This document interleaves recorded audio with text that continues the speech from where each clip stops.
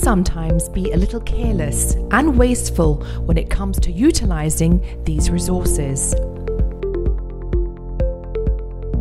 We can start taking these resources for granted and not realize that using them is a privilege. Being wasteful when it comes to energy is easy but very disrespectful to our environment and to those who have to carry the burden of paying for it.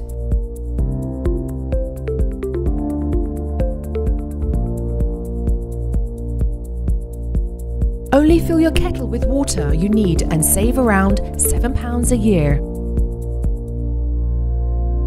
Wasteful living catches up with us in form of high bills. Heating, water, electricity cost money which could be used in other more useful and helpful ways if we were just a little more mindful about our energy saving habits. While you might be tempted to crank the heating up to a subtropical climate when you're feeling cold, remember that by turning your thermostat down by just one degree can save you around £90 per year. It can be easy to overlook the obvious steps we can take to save energy and be more respectful and efficient in our use of resources.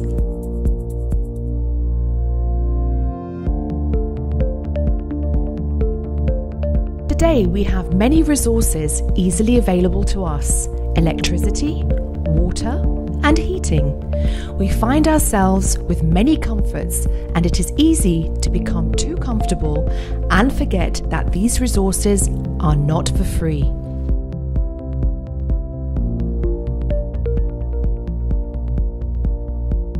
It is not enough just to stand and stare.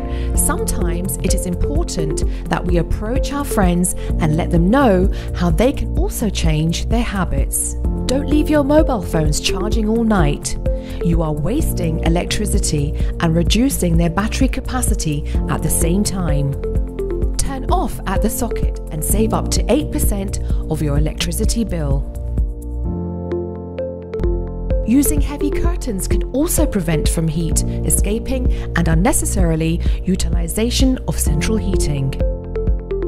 Replacing the light fittings with energy saving light bulbs can save you over £100 a year.